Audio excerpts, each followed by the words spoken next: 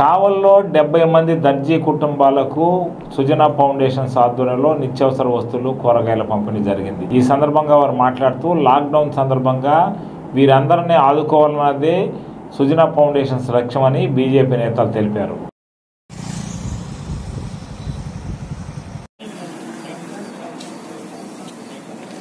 ఆడ గుంపు అయిపోయింది ఆడ చూడు. Okay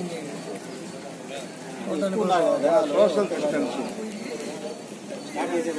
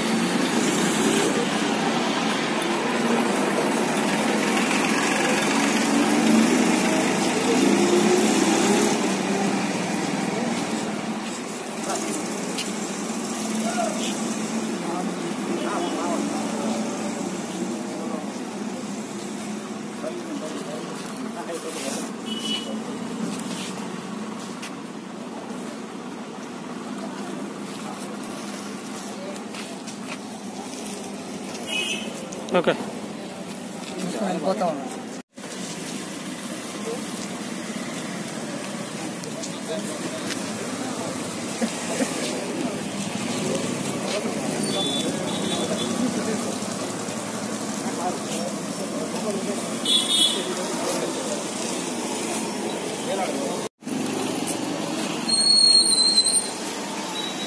కానీ నరేంద్ర మోడీ గారి పిలుపు మేరకు లాక్డౌన్లో ఇబ్బంది పడుతున్నటువంటి పేదల్ని ఆదుకోమని చెప్పి అందరికీ పిలుపునిచ్చారు. దీన్ని చూసి చెలించిన భారతీయ జనతా పార్టీ నాయకులు కేంద్ర మాజీ మంత్రివర్యులు ప్రస్తుత రాజ్యసభ సభ్యులు శ్రీ సుజనా చౌదరి గారు ఆపనహంతం తన చారిటబుల్ ట్రస్ట్ ద్వారా అందిస్తున్నారు. ఈరోజు కావలిలో కూలి పనులు లేక పూట గడవక అల్లాడుతున్న పేదలకి సుజనా చారిటబుల్ ట్రస్ట్ ఆపన్నహస్తం అందిస్తుంది. దీన్ని ఈరోజు కావల్లో దర్జీలకు కూలి పనులు లేవు. వారికి ఈరోజు ఆపన్నహస్తం అందిస్తున్నాము. ఈ అవకాశం ఇచ్చినటువంటి సుజనా చౌదరి గారికి సుజనా ఫౌండేషన్ వారికి మా ధన్యవాదాలు.